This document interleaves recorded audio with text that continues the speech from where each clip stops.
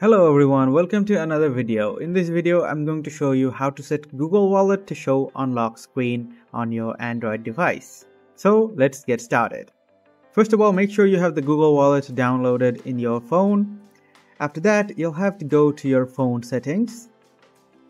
After going to phone settings, we are going to go to lock screen and AOD.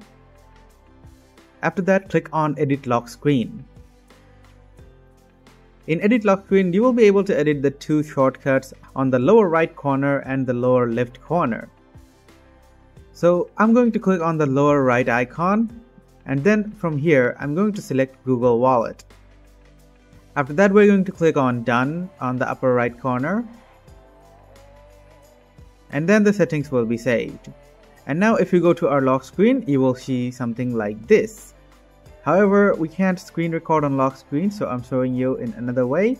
As you can see, Google Wallet is now in my lock screen and I can access it from my lock screen. So guys, if you found this video helpful, then please do leave a thumbs up and subscribe to our channel for more helpful videos like these.